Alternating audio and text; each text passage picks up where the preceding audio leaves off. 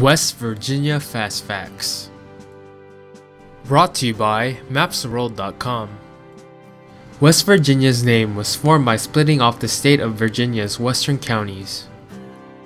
Proposed names for the area in earlier history were West Sylvania and Vandalia. West Virginia is a bag-shaped state that is located directly to the north and west of Virginia, the original colony from which it was formed. It is the only state in America that is located entirely within the Appalachian mountain range. This landscape has created the basis for much of its traditional culture. West Virginia is split up into 55 counties. Well over 1.8 million people live in West Virginia, which is a large number considering the state's size and the rugged nature of its landscape. It ranks 27th in the United States for population density.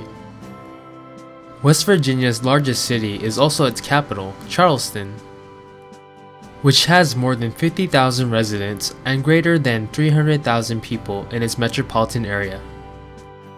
Other major cities include Huntington and the historically important Wheeling.